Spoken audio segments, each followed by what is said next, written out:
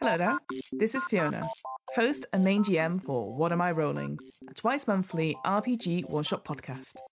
This is a bonus Q&A episode to tide us over to the next one-shot, and it is indeed a very special Q&A, as this week I had the absolute pleasure of interviewing Ferruccio Argento, lead designer of the upcoming dark fantasy tabletop RPG Blood and Doom, to be published by Dicetale Games. In Blood and Doom, players take on the role of adventurers in a doomed world where the rising influence of cults is slowly corrupting the land and its people. Doomsayers, aka GMs, act as the characters' senses, describing events and presenting clues, whilst players interact both with each other and with the characters inhabiting the world of the game, and, of course, fight monsters. Blood and Doom uses a unique dice system and rule set to resolve conflicts, allowing for a tremendous amount of suspense to be added to the stories, fleshed out by the entire group. In addition, each adventurer possesses unique abilities that add to the strengths of the group as a whole. It was an absolute delight to interview Ferruccio about Blood and Doom. I think the main game mechanic is really interesting, and I really like the system overall, especially the Blood and Doom points. Blood and Doom really feels like it's going to be a game to look out for in 2023. Whilst the Kickstarter for Blood and Doom is not officially launching till March, Dicetale Games is releasing a quick start version in early February. You can stay up to date with the latest news from Dicetale Games and be notified about the Kickstarter and the quick start via their newsletter. I'll put a link to the Dicetale Games website and all the relevant Blood and Doom links in this episode's show notes. Brilliant. Well, thank you so much for joining us. So, could you, as our first question, could you tell us a little bit about yourself? Who are you and what do you do? Sure. My name is Ferruccio Argento. I'm lead designer and writer of the upcoming tabletop RPG Blood and Doom. It's a dark fantasy game about a doomed world in which players take on malevolent cults and battle horrible monsters in an attempt to save their world from corruption. Wow, I love that. So succinct, that introduction. Very smooth segue. So, how did you get into RPGs then? When did, where did it start for you? When did it start? Well, I, I had an attempt at playing Dungeons and Dragons 3.5 when I was very young. Mm-hmm. And I mm-hmm. still remember this is like pre internet days, right? I still remember that I did not understand anything about it. All I knew is that like there's someone who's supposed to lead the game and there's players who are playing characters. But I think I was like maybe 14 years old and mm. without the help, honestly, of uh, tutorials. And I mean, these days it's a lot easier to learn any tabletop role playing game. And back then, we just basically gave up after a few sessions. Mm. Um, but always been a big fan also of the Baldur's Gate uh, video game, which uh, is kind of like the same you know flavor. Mm-hmm. And and then I I started again with fifth edition. It must be like seven eight years ago now. And it was because a friend of mine actually sent me a message uh, with the the YouTube clip with Vin Diesel playing with yes. some of the Critical Role cast. You remember this one? Mm-hmm, remember, it was yeah. called D and Diesel or something. And I and I remember opening this, not being very aware of tabletop role playing games actually mm-hmm. at that mm-hmm. point, and being like, wow, if you if you can set it up the way they do here, right? With some candles on the table, a skull, and then narrate the way that Matt Mercer does and really take players into a story like this. And mm-hmm. all of a sudden, from this short clip, I just saw the magic or something. And I was like, okay, we're going to do this. And basically, as with anything that I discover, it's like I'm calling my friends, I'm buying these things, and we're off to start and uh, and try it out. So that's when it started, mm-hmm. and just you know, uh, it's an amazing experience to play tabletop role playing games, in my opinion, because it's it's so back to basics, right? There's no, mm. at least not in my case, uh, sure. no phone or iPad or anything involved. You're sitting at a table, you're having fun, you're talking to each other, spending quality time with each other, and that's really why it kind of stuck. And uh, mm. and of course, being a game master just I took to that really quickly, mm. and I just enjoy like building things, preparing, you know, uh, yeah. knowing the secrets and seeing the players trying to discover the secrets. Yeah, yeah, absolutely. So, do you prefer then running the games rather than playing it? it like, it sounds like so. If you're like, I love the secrets because I definitely feel that as well. But do you yeah. regularly run games then, or are you a mixture of both? No, I do. It's probably 99% me as a game master and sometimes when I'm lucky, I get to play. I've never played a campaign. So whenever I have played, it was mm. just a one shot, right? Mm-hmm. And most of the time I'm just like, okay, give me just just give me some pre-generated character. I'm fine. Yeah. I enjoyed the experience of playing mm. and not necessarily spending a lot of time creating a character. Mm-hmm. I think I think the joy that comes from that I, I get out of preparing the games and creating yeah. a ton of NPCs and stories uh, in that way. And you know as, as, well as I do, probably, and anyone playing out there, that once you're the GM, you know, it's kind of your job. You keep doing it, right? and, and, and I, I tried with my player group. There's like, do you guys want to try? And it's like, nah, you you keep doing it. You're, you know, so you're good at it. Yeah. Yeah, yeah, yeah. So, uh, but I, I did expand my, like, I started playing also online mm. uh, with groups that I found online. And, and that's when I first like tried, you know, playing some games as well as a as a player.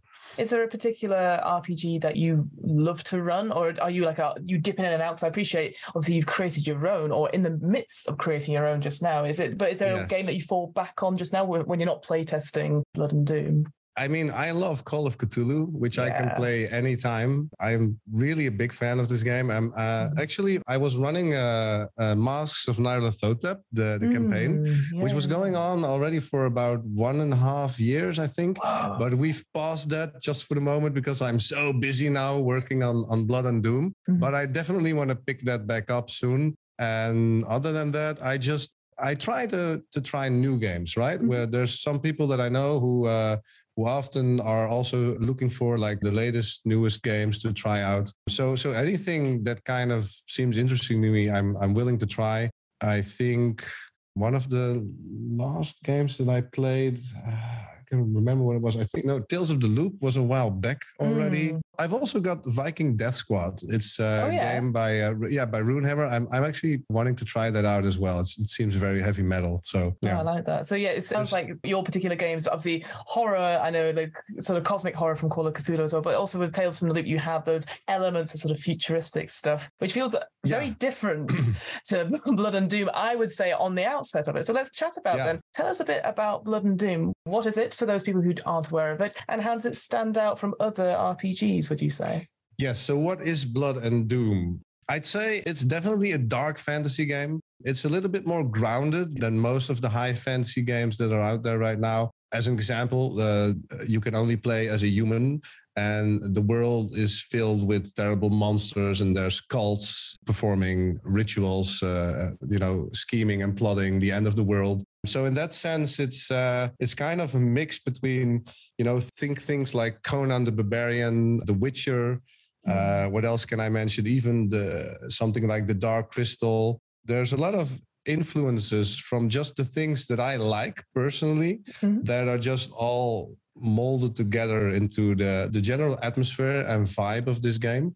Mm-hmm. Um, what was also very important to me is to create a game that is a little bit easier to pick up for new players mm-hmm. than uh, most of the like D&D esque games out there. But at the same time, I wanted to try and not make a game that's so simple in a way that it can be quite fun, but that it mm. kind of, for most people, will not be their go-to game to play a, a long campaign. Mm-hmm. So I, I kind of really wanted to meet in the middle there. Mm-hmm. Uh, which is quite challenging actually because it's like you tip over really quickly and like mm-hmm. okay this is oversimplified or maybe this is now too crunchy and for me I try my best to find a really good balance in that mm. sense. Um, I think one of the things that stands out in Blood and Doom is the grittiness, the realism of it. You can die fairly easy in the game, and yes. I think as the name might suggest, oh. yeah. So, so it's it's gonna take. I mean, if you're playing smart and if you're playing together as as a group really well, I think it's not even that hard to conquer any kind of situation or or challenge. But then again, if you're just walking around doing whatever, that won't work in this game. Mm-hmm. And then there's the world, which is to me maybe even the most fascinating about the game, uh, in the fact that it takes inspiration from non-Western European traditions. So it isn't rooted in the what you mostly see the Tolkien-esque Arthurian Western European lore, but it mm-hmm. takes inspiration from like places all over the world. Mm-hmm. Not directly, but you can definitely see that. I mean, it there's uh, vast deserts, there's mysterious jungles. That it, mm-hmm. it's kind of like a high adventure in this sense, in this regard, and just something something maybe new to explore, maybe something that you don't see uh, so very often in tabletop role playing games. It's very true. Yeah, like you said, when we think of fantasy, you instantly think castles, you think lush countryside and whatnot, uh, or yeah. long roads. Whereas here, like it's very descriptive about like yeah, you have your deserts, you have your jungles, and and you have that sort of atmosphere. It's definitely uh, in, in the blog post that I was reading, it did definitely felt so different, and you almost could feel that that sort of wet humidity as you're sort of you know getting your way from point A to point B, which I liked. What I also liked, uh, I was reading through your sort of uh, the descriptor of Blood and Doom, uh, and it's maybe it's just me as a GM is that you you make it player facing, so that means the players roll mostly all the dice. The GMs don't have to, and I'm like, thank God. Yeah, yeah that's that's. I mean, I I actually think this gets way way less credit in other games than it deserves because to me, once I played a few games that use this kind of player facing uh, mechanic I immediately was sold on it because it just makes so much more sense because the, the GM has a lot more brain space and time available and energy to manage the narration and to really sort of direct this combat into something mm-hmm. cinematic and amazing mm-hmm. instead of like uh, needing to roll five times for a few enemies keeping track of the initiative order on which we can talk about later, which mm. Blood and Doom doesn't have an initiative order. Yeah. And, and so that kind of just frees up the GM from all these troubles. And I think that yeah. maybe it's because I've been GMing for so long that I've mm. kind of hmm. been looking for a way to make that more pleasurable for the GM so that mm. they can hmm. also enjoy the game without ending up with a headache at the end of the evening. Because sometimes when, when you play a really intense five hour session and you're yeah. the GM and it's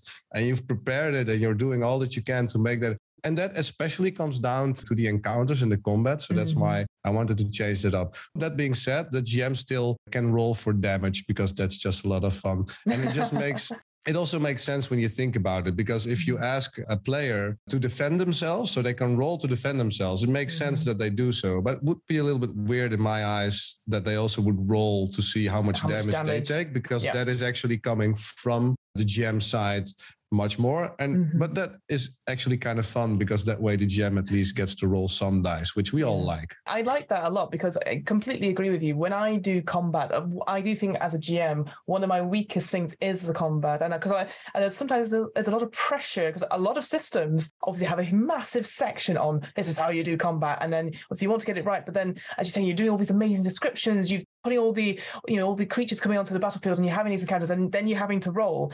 And then of the number you're then going to have to justify what you just said. And you're like for me it takes that extra little like that sort of hill to get over. So the fact you do away yeah. with that but like you said, I do like that idea that yeah, I'll control how much damage because that, that, that's just a number. That doesn't necessarily matter too much to me, the GM. What matters to me is how I hit or how you know how I uh, orchestrate the fight, which is much better yeah. done through that narrative flow. Which yeah, no, I I 100% agree with that. And I'm like, oh, thank God, another game where I don't. Yeah, you said crunchy, but not necessarily yeah. for the GM, which I'm happy about. And definitely also, it's the little things like every monster stat block in the game has included at the bottom a small section where you can immediately keep track of them in a combat. So you, there's a, a, way to keep track of the turns, to keep track of how much damage they got. Mm-hmm. And just printing out a simple stat block like that would be enough for you to just you know put it beside you on the table and just run it mm-hmm. there's no more extra sheets that you need to make and print out or any you know ways yeah. to keep track Admin, of it yeah, I, I, I remember ha- having had so many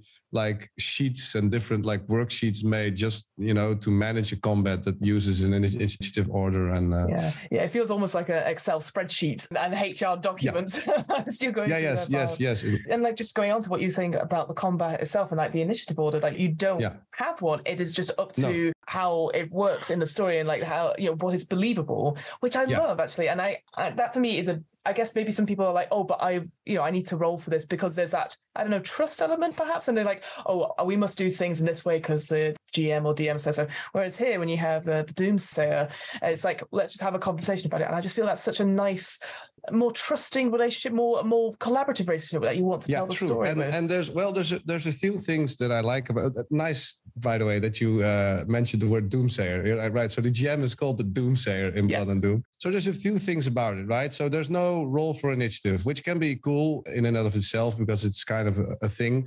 But then again, once you're playing a game and it goes from like storytelling mode right into the the action without a pause, uh, that's actually pretty amazing. Mhm. And there's some rules to the combat, which is that you can only take one turn each round. So even though the order isn't set and you can take turns in each round, you cannot simply take two turns in a row, right? So once you've taken a turn, everyone, the characters as well as the NPCs or monsters, they will have need to have taken, you know, uh, their turn. And then once everyone had their turn, then a new round begins, and then again it starts. And what I've noticed a lot in playtests and in my game or other games that work like this is that it really works like instinctively because there's an action reaction going on the whole time. So the only thing that you need is a sort of an initiating action. Something happens, and then it's Mhm. like, I want to do this, and I'll you know, jump up and grab it, and and it's like, and then I'm gonna do this, and then I'm gonna, there's never like any doubt because it, it's more engaging, and it's like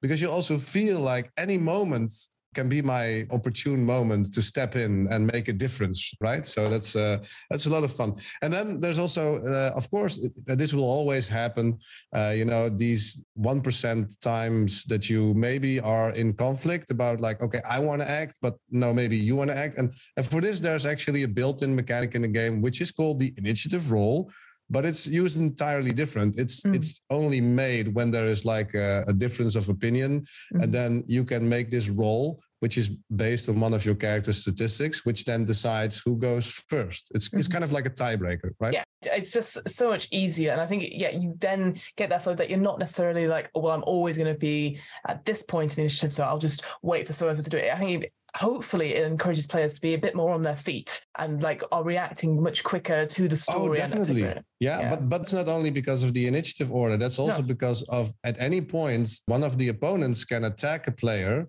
It's Mm. not the player's turn, but they still will need to roll to defend themselves, right? right. So that Mhm. that means that at any point in the game they're looking like, okay, man, any time now I can you know be attacked and Mhm. and needing to roll. Not only that, but there's a lot of cool traits and powers or weapon uh, attributes that actually play into attacks or defenses, which means that even when it's not your turn, you can maybe use some of that to uh, boost your defense or to get Mhm. some uh, some kind of a benefit there. I was wondering if you could explain to uh, to things because there's something that I haven't not come across before. If you could tell us a bit more about what blood points are and what doom points are and what their significance is in the mechanics. Blood points are are like a, a unified point system that players use either for using their powers or magic. And the cool thing about it is that I tried in this game to give like martial classes a little bit more to do so that Mhm. there's a little bit less of a gap between playing a martial character or a magic character in the sense that okay i can attack and okay i have like 20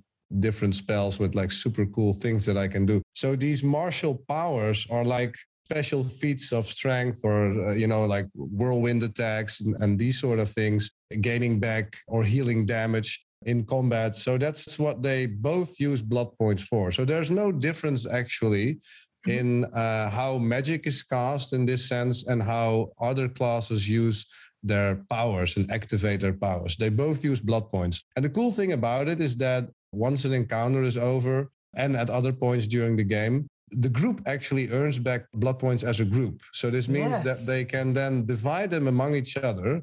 And during the playtest, it's been a lot of fun seeing how they are trying to estimate which of the characters might be most useful in the next 10 minutes, Hmm. and then maybe giving them one or two extra blood points over maybe another character that's maybe uh, not going to be using their power so much. Yeah, so, no, I, I really like that. Yeah, that you are doing a collective, I know D and D term here, but long rest. But like, but then you have to portion out. Like, you don't all get back up to full. Like, it's almost like you're playing a video game, and you're like, okay, well, I've only got certain amount of resources. Well, I'll heal this person and then this person. So again, I like that as a, a way to talk between your players and maybe build that sort of Yeah. of a team thing. Yeah, you de- you definitely don't just get all your blood points back. As Mhm. also, do you not heal uh, fully when you rest? So there's bruises and there's wounds, Mhm. and wounds are longer lasting. They actually require you to recover for an entire day in order to clear those. Mhm. Uh, while bruises can easily be healed by just resting. So it's always uh, a little bit more harsh and uh, you know it's not like okay let's do a long rest and we're ready to go for, uh, for combat and then Mhm. there's the doom points as you Mhm. asked so doom points essentially are i mean it's different than a lock mechanic i guess but it's it's similar also in a way in that you can spend a doom point to re-roll all dice that failed because it's dice pool system and you Mhm. need to to roll a certain number of successes in order to succeed a roll. So let's say that three of your dice rolled a success and four didn't, then you can re-roll those four and try to succeed. But then again, there's a, a turning side to this, which is the doom points also let you know how many dice you can roll to make a doom roll. And the Mhm. doomsayer can ask you at certain points in the game to make a doom roll. So Mm. if you don't spend any doom points, you'll make really good doom Yeah. rolls, right? Because you have a lot of points, you have a lot of Mhm. dice to roll.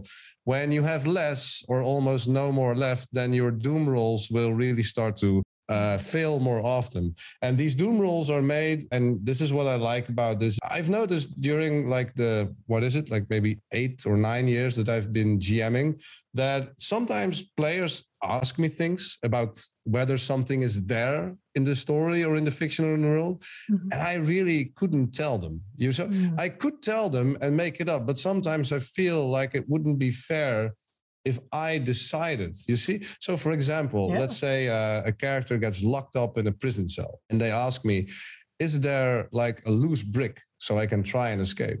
I Mm. mean, I don't know.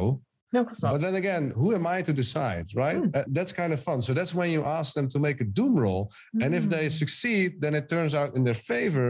And then the brick is loose and they find it. If they don't, well, tough luck. You have to find another way to get out of the prison Mm. cell. Similarly, let's say the party is facing a, a great opponent, right? Some kind of large tentacled monster that could basically take any one of these characters if he or she wanted to. And then it's it's like, why would I be as the game master the one to decide that it's gonna attack you or you? And then everyone in the party can make a doom roll, and the Mhm. one who rolls the lowest gets attacked by this monster. And game masters can of course play around with this and do all Mm. sorts of fun things with these doom points. But it's kind of a way to see that. how how lucky players can get, you know, to Mm. see you know whether to go left or right if, if you don't know a thing in the fiction if it's there or not or if it turns out in their favor just ask them for a doom roll and let love that. fate decide yeah I love that. So, uh, just just for clarity, then, is the Doom points is that for individual characters or is it a community thing for your for your party? It sounds No, like it's an those are individual. actually those are actually individual yeah That's what I thought, yeah, when because I, I, would, I wouldn't want I, would, I, would, I think it would turn out really badly if one of the players spending all Spend the all the thing- well, that's why I was like, no, yeah. don't you know we're gonna Well, that's yeah. what I was thinking in that final tentacle thing that you were saying. I was like, God, that'd be really poor if somebody had spent them all like earlier, and everyone's like, well, we've got one left, yeah, we're all it's going your to be fault. screwed. It's yeah. your fault. Yeah, no, yeah. No, that's cool. No, No. I, I assume so. I really like that as a mechanic because yeah, I do think like like you said that when somebody asks you if something specific is there, because obviously they're asking, this is like their yes anding. This is like I've put this into the scene. Does it exist? And you're not, you don't want to say no, but you also you're like, well, we're creating this world together. So I love that as a Yeah. mechanic to yes, let's include Yeah. I think that's I've, amazing. I've, I've watched, I mean, I'm a big YouTube junkie in the sense that I've watched a lot of Runehammer's videos, Mhm. Dungeon Craft, Questing Beast, Seth Skorkowsky. Big shout out to all of them, by the way. And what I noticed that uh, Hankerin from Runehammer, he's big on those kind of mechanics and things that, like rolling dice to randomly decide something, Mhm. which which if you apply it like you shouldn't do it too often, of course, No, or too much, but but at a certain point, it's like let, let's just let this be randomly decided, and even the the GM or the doomsayer, I should say, can be surprised by the outcome, and it's fun for everyone to see what happens. So the the doomsayer is at that point more of a an arbiter than someone who decides what's going to happen.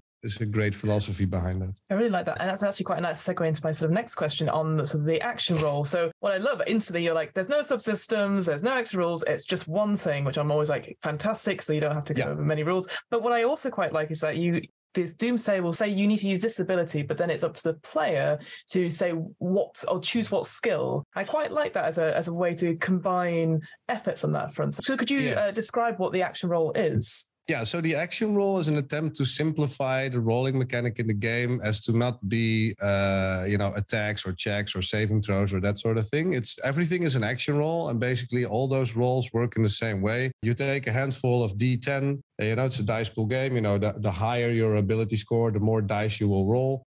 Um, you'll never roll more than 12, by the way. So I think I, I think oh. it's very important not to go like with ridiculous amounts of dice. Yeah, and then you need to roll as much eights, nines, and tens as you can because mm. each represents a success, and a ten actually represents two successes. successes. It's kind of like a mini critical. Mm-hmm. So then mm-hmm. you want to try and get as many successes as you can. The difficulty usually varies between one and five. Now Two is like the basic difficulty, mm-hmm. which you mostly roll. At three is difficult. Four and five is going to be, you know, that's going to be really hard and it's going to be more for high level play. So, in this sense, the action roll works the same whether you are attacking someone, whether you are casting magic, because when you cast magic, you, you also roll to do this. And mm-hmm. I think it's it's nice that you noticed this because I think that the uniqueness of, of Blood and Doom is in in many of these small little details that are present in the game, right? And the fact that the Doomsayer does not ask for a skill to be rolled, it eh, might be overseen. But then again, it makes a lot of difference because the Doomsayer asks for an ability, and then it's up to the player to mm. look at their skills and be like, I, I think maybe this can work here. Mm. So,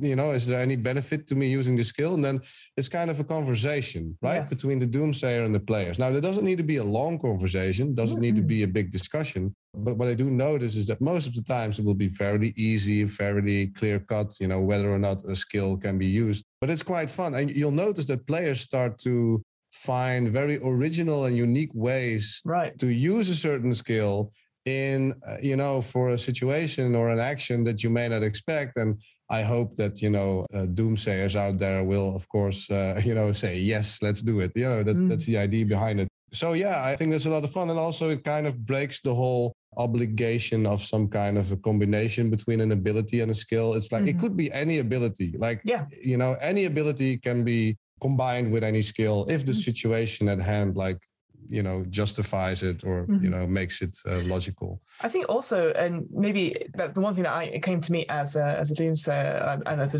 gm in general is that if i was running this it instantly i think it encourages players to look at their character sheets more and then think more about like, well, this skill, how does it apply to this situation? Whereas, you know, they're like, can I see anything? Can I do a perception check? Rather than asking what can I do? It is that that conversation where they hopefully will engage in their character, in that skills more, and will maybe what I love about uh, RPGs in general, those RPGs that help players learn to play the game almost without, you know, telling them the rules. You know, is that sort of like it's an organic conversation, as you said. And I think that's yeah. so important to have. A lot of our games nowadays are very narrative and are very spoken about.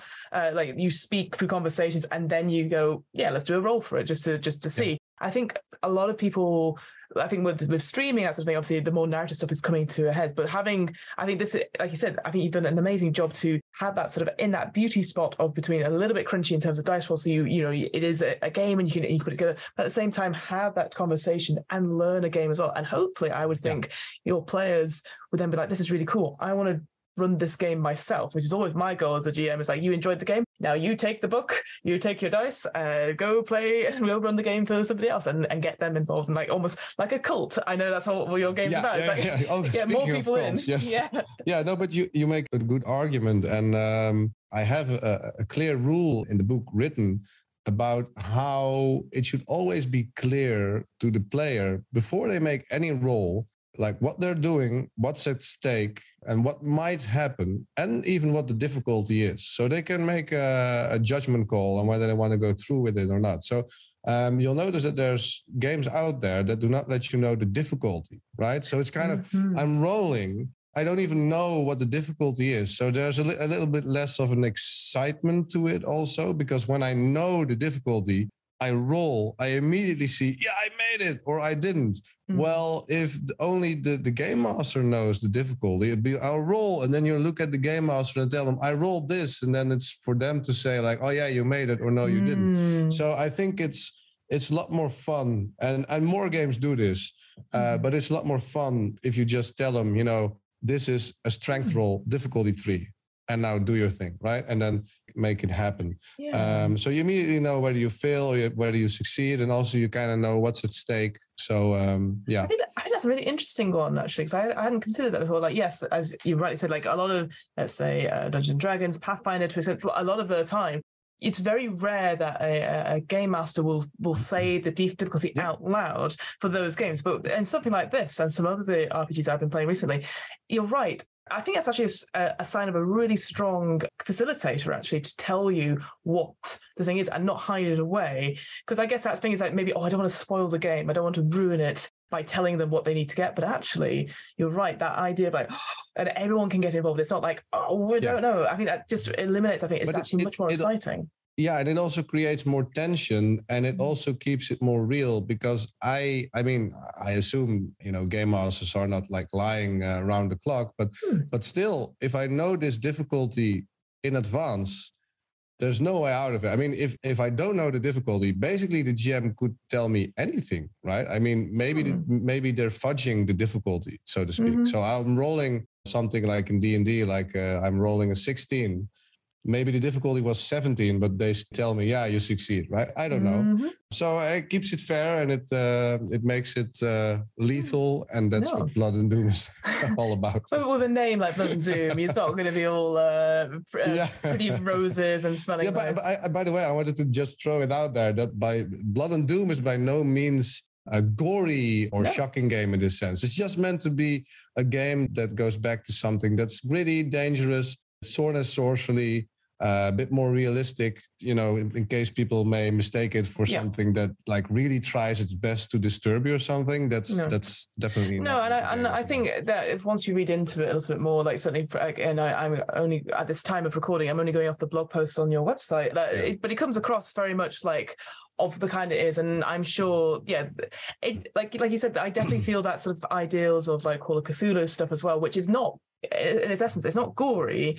There are elements of horror in it and you can tweak it to yeah. that and i think that you could do the same for that. The last thing I wanted to talk about are in terms of the action roll is uh, the setback die that you also have yeah. in your role. Is idea that it happens in other RPG systems, but I do like it. I like seeing it as idea that you have another D10 that's a different color, and then when you fail yeah. it, you look at the setback die, and if it, I presume it's like a low number, it, it yeah, might one, trigger. one, two, and three. One, two, and three. Yeah. One, two, and three. Oh no, I see that's several low numbers. I didn't realize. Yeah, that. I know. No, yeah, it's gonna, it's going to happen more often if you, though it only applies if you already failed your roll anyway. So yes. right, if your roll if your roll succeeds, you don't really need yes. to uh, consider the setback die. And if you do fail, but then also roll a one, two, or three on the setback die, that, that's going to mean trouble, uh, which yes. can mean anything from uh, your weapon uh, breaking, your armor getting dented, and of course a whole lot of like narrative consequences. You know, you're sneaking in the back door of a castle. All of a sudden, oh mm-hmm. oh my god! Now also you not only failed your lockpick, but you also alerted the guards or something like this. Uh, so mm-hmm. that's that's quite a lot of fun. And what's even more fun is that when when you're uh, not as good at something, so if you have a low ability score, you'll of course roll less dice. So let's say you're only lo- rolling two or three then the chances of failing are even bigger and the mm-hmm. chances of because you always roll your setback die so if you ever ask, for, yeah. for whatever reason need to roll only one die it's going to be your setback die and that's oh. going to greatly increase the chances of a, of a setback. So, so I'm uh, guessing yeah. then you will never have a dice pool of zero, and then you'd have to roll. It's always it's always a minimum of one, and that will have to be the setback die. Yeah, that... it, it is always a minimum of one. Plus, you can also instead of spending a doom point to re-roll, you can also spend it at any time to roll a minimum of five action dice. Ooh, so cool. if you ever find yourself in such an unlucky place that you have uh, you suffer a challenge, so a challenge and an, an edge is like when you gain an advantage and add some dice to your dice pool. A challenge is when you uh, subtract some. Mm-hmm. So if forever,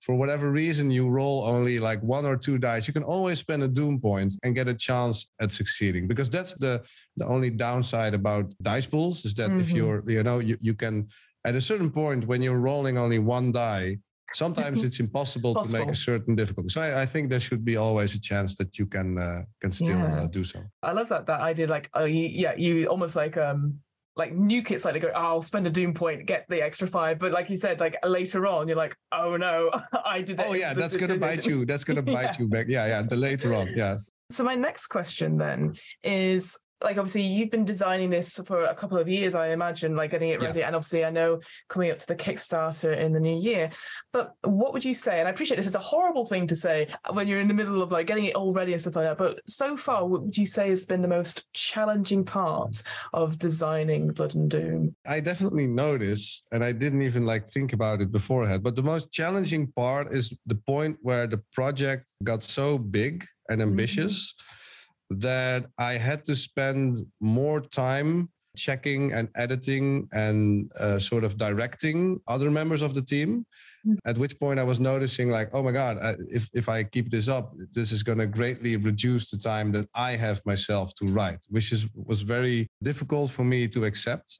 Uh, you know, a, a, an incredibly large chunk of the game had already been written at the st- at, at, that time, especially the rules. Mm-hmm. But the setting hadn't quite been. I mean, there's there's a, a, concept for the setting, but it hadn't been written yet. So, mm-hmm. but then again, you know, when you want to make a set of two books, each about like 350 pages, including yeah. over 250 uh, full color illustrations, its own uh, soundtrack, etc at a certain point you have to choose either to make it like a, a one man's smaller project or mm-hmm. then you know go all out and yeah so we got like a, a great team of of writers and artists aboard many of the writers any award winners actually mm-hmm. who uh, who contributed to uh, some great games so um, yeah it's it's now in like the highest gear at this point. Yeah. Uh, and getting everything ready for the quick start guide, which is going to be released in February. That's so exciting. And yeah. then my my the flip side to this question, which is also I think quite cruel and mean, is that what's been so far the best part about designing Blood and Doom,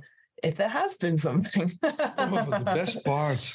Or if you can choose some things, wow. I appreciate it. there might be lots, lots of little moments. I think I mean, we've been doing a lot of conventions lately. We went yeah. to Spiel. We went to some uh, conventions in in uh, Belgium, Facts, and in the Netherlands here. Spectacle, it's called. And we're also going to go to Dragonmeet in uh, London oh, in December. I'm, I'm at Dragonmeet. Yeah, I. Oh, right, so we'll meet. oh, cool. That's yeah, so nice. I'm I'm I'm helping running a podcast zone there with my friends. So I do I help out with all the podcasts there. So oh, I'll, cool. Okay, yeah. we shoot. Yeah, well, we, will see. Oh, so nice. Yeah, that's so exciting. Sorry. Okay. Yeah. Sorry. Yeah, yeah, cool. Yeah, it's nice. But so uh, maybe I can run some Blood and Doom for you. For I would you love and, uh, that. hundred percent. Yeah. So uh, to come back to your question, it's it's talking to the people now for the first time. People yes. who are not my friends or like people that I play with or any of the writers or artists, just random people coming over to the booth being interested in the game mm-hmm. get first getting drawn in by the artwork that we that we got and then like well what is this all about? And it's like well it's uh, you know it's a tabletop role playing games oh i know this. I've played this and this and this. Okay and then you start talking about it and t- to see some of their faces and being genuinely excited and yeah. happy that Blood and Doom is existing and coming out soon and kickstarting is yeah I mean that's that's been at least if not the best experience it was a, a very different and new experience for me mm-hmm. that I mm-hmm. hadn't had before because it, it had always been behind closed doors, so to speak. And now now it's kind of starting to get out there, which is a which is a very nice uh, nice experience. Oh, that's yeah. amazing. And yeah, I can I can imagine because like from I will say from my very limited experience in the tabletop community, like going to conventions stuff after appreciate we've been in, indoors for the last couple of years, it is actually so lovely to go out into the community and people being excited uh, to actually genuinely interested in the games and having that face to face contact and talking about stuff. So I can only imagine how how wonderful the last couple of conventions have been about it. And oh, yeah, Dragon really I can't wait. Except except for my voice, which you can still hear is a bit raspy from last tiny weekend. Bit, but, you, but you, I'm sure, you, but that's just because you're like, excitedly explaining your game, which is always really exciting. Yeah, um, and thanks to Jason Dural for uh, giving me the tip to eat a lot of uh, cough drops, but it didn't help any. Oh no! So if he's listening, yes. my um, penultimate question then for you is that if someone like yourself, you know, had been running games for a little while, uh, but wanted to design their own games, what would your main bit of advice be if they wanted to start designing their own games? Don't make a book as big as Blood and Doom. Yeah. Apart from that, yeah, really, don't go no, big. really, don't do it. No, don't do that. You know, it's it's cost heavy. You know, and uh, doing this with a large team.